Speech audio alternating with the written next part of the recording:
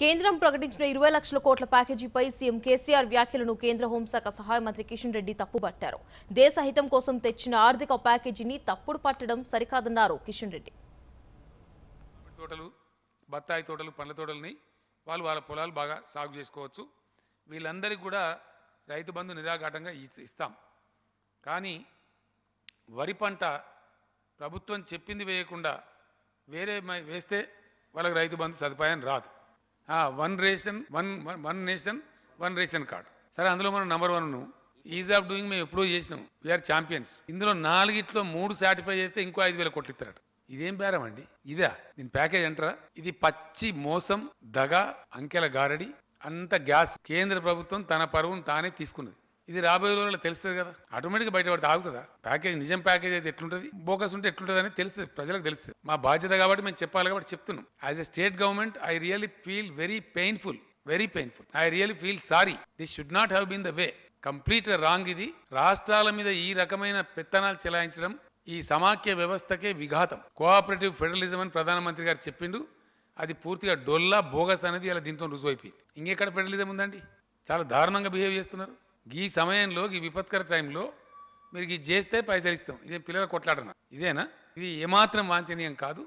ఇది అన్యాయం. మెడ మీద కత్తి పెట్టి నువ్వు కరెంట్ రిఫార్మ్ చేయి ఇస్తావు నీకు బిచ్చం ఇస్తా రెండు వేల కోట్లు. ఇదేనండి? నువ్వు ఫలాంది చేయి మున్సిపల్ ట్యాక్సులు పెంచు మున్సిపల్ ఆదాయం పెంచు అయితే రెండు వేల కోట్ల భిక్షం ఇస్తా. ఇదా?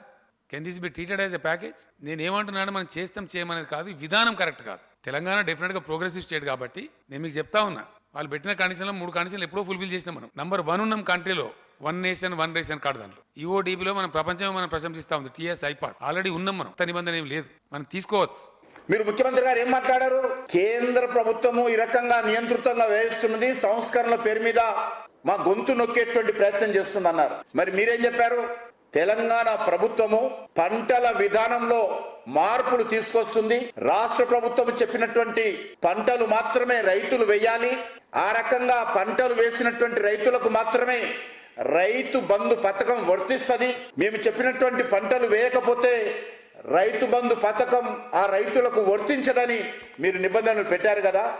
అది మేమైనా వ్యతిరేకిస్తున్నామా? అది ఒక సంస్కరణలో భాగం వ్యవసాయ రంగాన్ని అభివృద్ధి చేయడానికి పంటలు గిట్టుబాటు ధర దొరకడానికి మీరు అవలంబిస్తున్నటువంటి విధానం కావచ్చు. దానికి మీరు రైతు బంధు పథకం లింకు పెట్టారు. అది కరెక్ట్ అయినప్పుడు ఇది ఎట్లా కరెక్ట్ కాదని అడుగుతా ఈ యొక్క ప్యాకేజీని విమర్శిస్తున్నటువంటి వాళ్ళందరూ కూడా ఒక్కసారి ఆలోచన చేయాలి.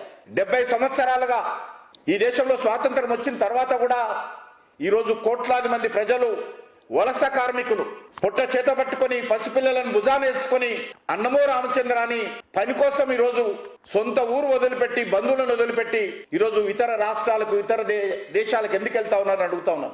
మన తెలంగాణ రాష్ట్రం నుంచి కూడా లక్షలాది మంది గల్ఫ్ దేశాలకు ఎందుకు వెళ్తా ఉన్నారు?